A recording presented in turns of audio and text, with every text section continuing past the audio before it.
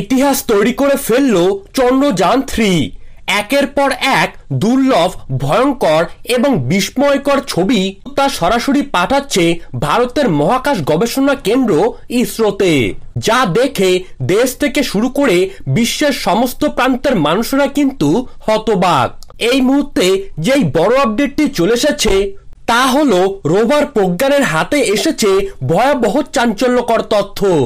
Chandrayaan three একের পর এক লাগাতার ছবি, ভিডিও এবং বিভিন্ন তথ্য কিন্তু পাঠাচ্ছে ইসরোকে এবং ইসরো তা কিন্তু সরাসরি পাঠাচ্ছে নাসায়।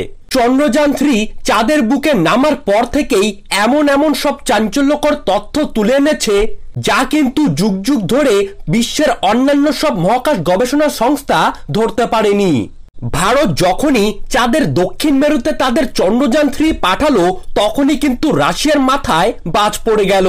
কারণ এখনও পর্যন্ত বিশ্বের কোনো মহাকাশ গবেষণা সংস্থা চাঁদের দক্ষিণ মেরুতে পৌঁছতে পারেনি।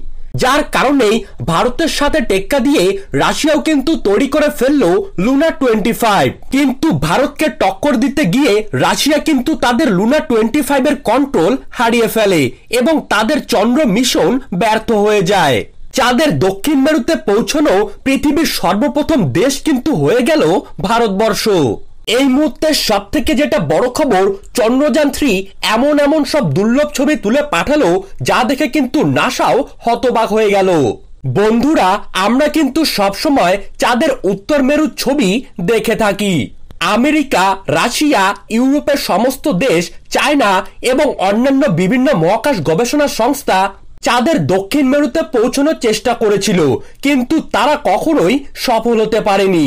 আর বর্তমানে ভারতের চন্দ্রযান থ্রি চাঁদের দক্ষিণ মেরুতে গিয়ে যেই সব ছবি পাঠাচ্ছে, তাতে কিন্তু দেখা যাচ্ছে সেখানে রয়েছে বড় বড় সব গর্ত, বোল্ডার, মৃত আগ্নেয়গিরি এবং অনেক জীবাশ্ম। ইসরো কিন্তু এটাও দাবি করছে চাঁদের দক্ষিণ মেরুতে জল রয়েছে। তার পাশাপাশি সেখানে বিভিন্ন জায়গায় বরফ রয়েছে। চাঁদের দক্ষিণ মেরুতে বেশিরভাগ সময় কিন্তু থাকে অন্ধকার, যার কারণে এখানে কিন্তু বরফ জমে থাকে। এই খবর কিন্তু আমাদেরকে প্রথম দিয়েছিল চন্দ্রযান ওয়ান। এবার এই জলের সন্ধান করতেই কিন্তু চন্দ্রযান থ্রি এগোচ্ছে। সমস্ত বিজ্ঞানীদের কাছে একটি বড় প্রশ্ন কিন্তু থেকেই যাচ্ছে, চাঁদের বুকের মাঝে এত বড় বড় গর্ত কীভাবে তৈরি হলো তা নিয়ে কিন্তু থাকছে বিশাল বড় প্রশ্ন।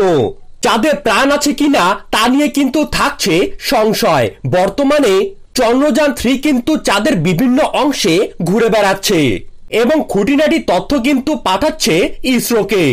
বর্তমানে চাঁদের আবহাওয়া কেমন রয়েছে, সেখানে তাপমাত্রা কেমন রয়েছে, জলবায়ু কেমন রয়েছে, সেখানে তামা, লোহা, দস্তা, নিকেল, বিভিন্ন খনিজ পদার্থের উপস্থিতি রয়েছে কিনা তা কিন্তু খুঁটিয়ে খুঁটিয়ে দেখছে রোভার প্রজ্ঞান। সব থেকে বড় কথা, চাঁদে প্রাণ আছে কিনা, তা নিয়েই কিন্তু বিজ্ঞানীরা চোখ পেতে রয়েছেন।